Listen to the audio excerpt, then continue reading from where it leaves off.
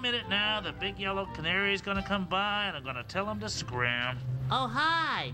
Welcome to Sesame Street. Hey, scram, you big yellow canary. Oh, Oscar, you always say that. What is it? Silly doors. That's Big Bird. He's in my. Sure he is. Hello, Big Bird. Oh, hi, Gordon. How are you? You know what I want you Uh, go away. Close my can lid there. You let all the fresh air and sunlight in. Boy, I hate that. Look, Sally, Oscar's a grouch. And so it was in August of 1969.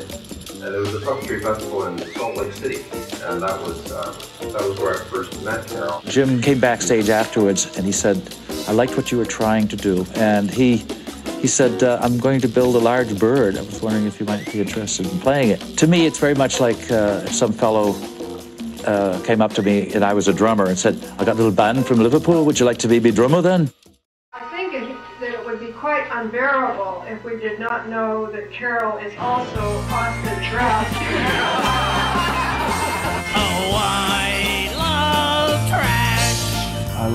playing Oscar. He has a power I never had. I like being miserable. That makes me happy. It does. But I don't like being happy, so that makes me miserable. Have a nice day. Have a nice day!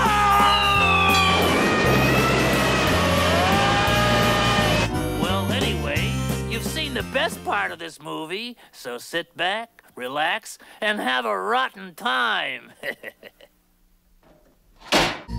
Abkadabky, Jekyll, and awkward Stuences. La la la la. Whoa, look out! Oh, hi! I'll be the smartest bird the world has ever seen. A gracious hello. A gracious hello? Hey, that's a nice way to say hello.